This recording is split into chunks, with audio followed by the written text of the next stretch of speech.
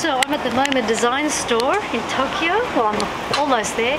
Heading up to the third floor to view the individualistic Moleskine. Here we are. Moleskine has pride of place right at the very front. And here they are. Individualistic Moleskines. Wow, look at this one.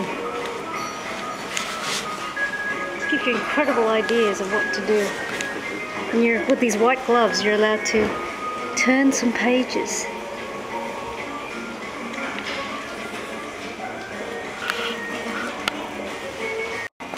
Being very creative.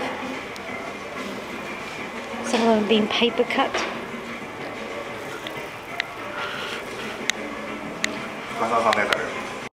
And of course, I've got my Moleskine on me. Just one of these thin books with uh, numbers in it that still function when my cell phone battery dies.